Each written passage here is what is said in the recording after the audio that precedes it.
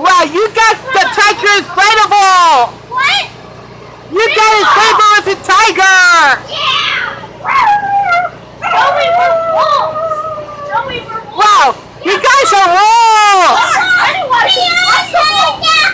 Yes, it is.